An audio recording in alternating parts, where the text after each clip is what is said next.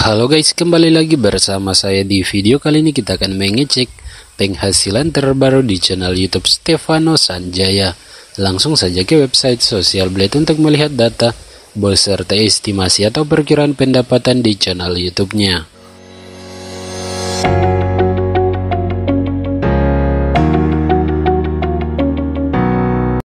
Oke guys, di sini channel YouTube Stefano Sanjaya telah mengupload atau mengunggah video sebanyak 274 video jumlah subscribernya untuk sementara 263.000 subscriber.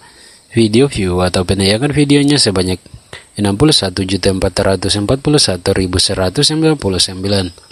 countrynya belum tertera tipe channelnya travel.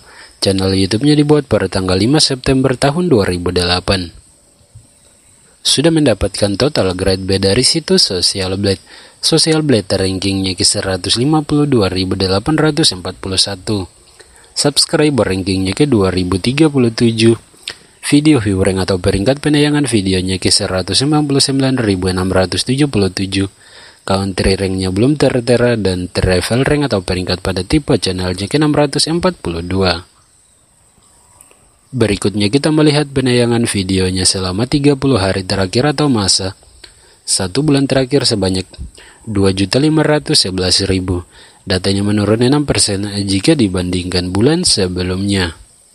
Kemudian pelanggan-pelanggan atau subscribernya selama 30 hari terakhir, channel YouTube-nya mengumpulkan pelanggan atau subscriber sebanyak 9.000. Data ini menurun 30,8% jika dibandingkan bulan sebelumnya. Lanjut ke ringkasan statistik penambahan subscriber dan perkiraan pendapatan harian dan mingguannya.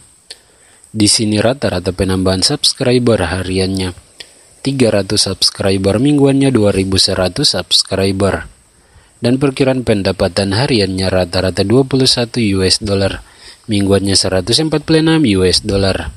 Kita cek juga bulanan dan tahunannya sekaligus mengkonversi nilainya ke rupiah Indonesia taksiran penghasilan bulanan terendah 628 US dollar tertingginya 10.000 US dollar dan taksiran penghasilan tahunan terendah 7.500 US dollar tertingginya 120.500 US dollar. Langsung saja kita melihat nilai dolar terbaru dan untuk mengkonversi estimasi pendapatannya yang masih dalam dolar ke rupiah Indonesia. 1 dolar Amerika terupdate hari ini sama dengan 15.201 rupiah Indonesia. Langsung kita salin ke kalkulator.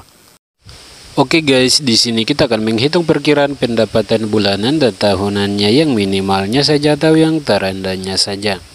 Karena yang terendahnya biasanya sangat mendekati gaji atau penghasilan sebenarnya.